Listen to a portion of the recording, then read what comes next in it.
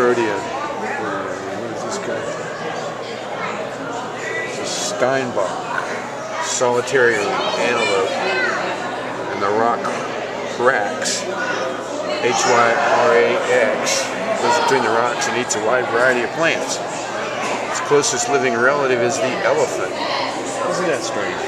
That guy's closest relative, the little guy over here, is an elephant. It's an elephant, this guy.